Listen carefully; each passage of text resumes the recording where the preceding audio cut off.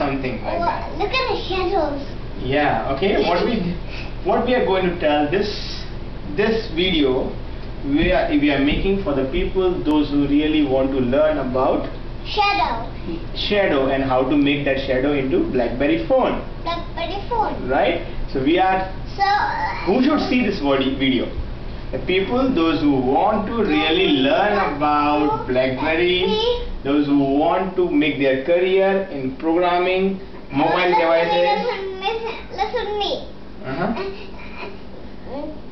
When you see something like that means and you see in the wall that means you see a shadow. Okay, the shadow shadow is something which you see on a wall, right? Yes. And the BlackBerry is something which you use on every day. Yeah. And if you want to if you, program, If you want to even call somebody you have to use a black, Blackberry phone.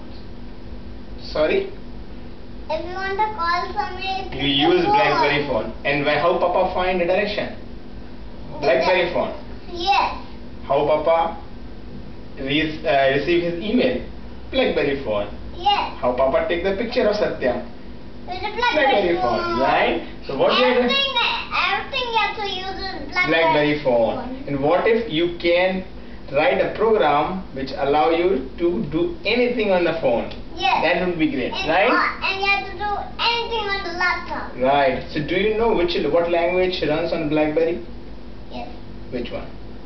Um, Java? Java. Yes.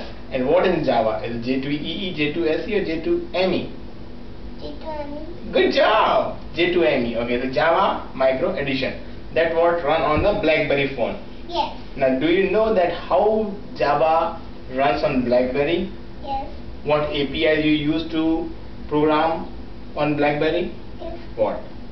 Um, Blackberry. BlackBerry. They are called RIM APIs.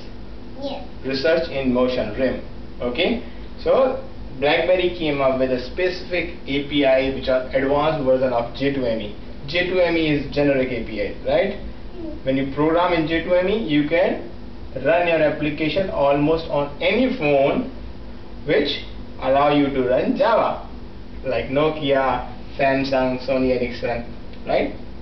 What BlackBerry gives you? BlackBerry gives you those bare minimum APIs. Along with that, Along it, with that. it gives you advanced APIs. Advanced.